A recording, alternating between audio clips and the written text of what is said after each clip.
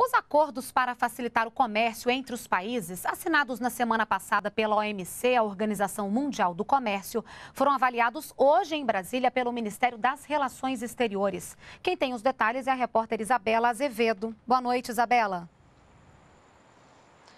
Olá, Renata, boa noite, boa noite a todos. O objetivo das negociações é permitir a ampliação da participação do Brasil no mercado internacional. Durante a conferência realizada semana passada lá em Bali, foram firmados diversos acordos no sentido de desburocratizar e simplificar o comércio entre os países. A ideia é de que, por exemplo, a submissão de documentos seja padronizada e simplificada e de que as mercadorias passem menos tempo na alfândega. Uma iniciativa que já vinha sendo debatida pelo governo brasileiro também entrou em pauta lá na conferência em Bali. É um portal na internet que se chamaria Janela Única e que facilitaria e tornaria mais rápido o procedimento de embarque e desembarque de bens. O diretor do Departamento Econômico do Ministério das Relações Exteriores, Paulo Mesquita, esteve lá na conferência e deu detalhes hoje para os, para os jornalistas.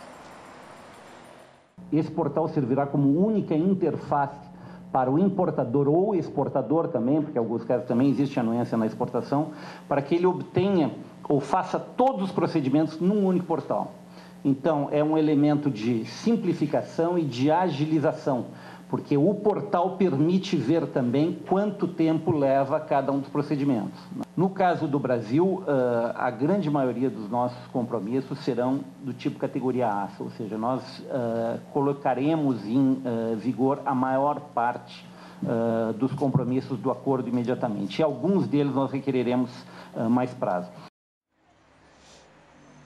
O acordo de facilitação de comércio entra em vigor imediatamente para os países desenvolvidos. No caso dos países em desenvolvimento, esse prazo é maior. Para o Brasil, vai ser entre um e dois anos, que é o período de entrada em prática do portal brasileiro Janela Única.